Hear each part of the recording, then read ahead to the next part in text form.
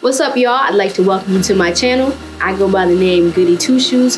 And if you haven't done so already, go ahead, hit subscribe, ring that bell so you never miss a notification when I drop some heat.